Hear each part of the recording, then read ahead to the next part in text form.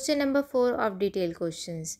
Question number 4. Explain the principle used in these methods of separation. Winnowing. The lightweight components blown away while the heavier fall straight down. Next point, distillation. When hot air or gas condense, it changes into liquid. Next point, sedimentation. The setting down of an insoluble solid in a liquid at the bottom. Next point, filtration to separate insoluble particles through a sieve or a strainer or a filter paper.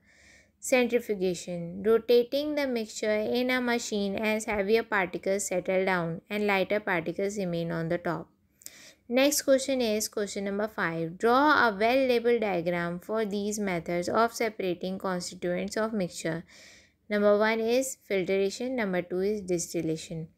So you will uh, draw the diagrams in your copy like this in the plain page.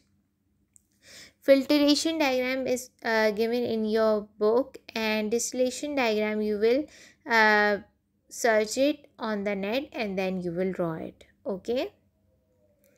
Now we will be doing exercise a choose the correct answers number one most of the substances we we see around us are mixtures number two the process of settling down of insoluble solids in a liquid is called sedimentation. Number 3. A solution of sugar and water is a homogeneous mixture. Number 4. The method of separating cream from milk is centrifugation. 5. The in winnowing, the components of the mixture are separated due to a difference in their weight. Uh, 6. The immiscible liquids are separated by distillation.